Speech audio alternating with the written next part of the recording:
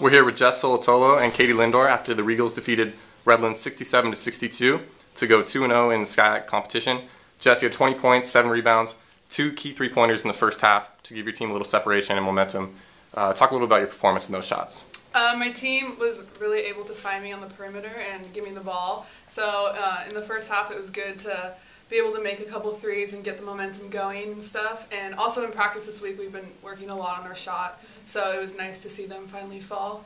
So, yes. And Katy, you led the team with 10 rebounds and had a key layup in the closing minutes of the game. How are you able to contribute to your team's win? Well, we knew going into the game that Redlands was a really good rebounding team, so we've been working a lot of um, rebounding drills and stuff in practice. So, um, yeah, just being aggressive, and at the end of the game, that layup, I was struggling in the beginning of the game, so I was glad I could finally hit that last one. All right, you've now won four straight games, including two in uh, to open SCIAC play. You head out on the road now for Pomona Pitzer. What does this win mean um, heading into that game?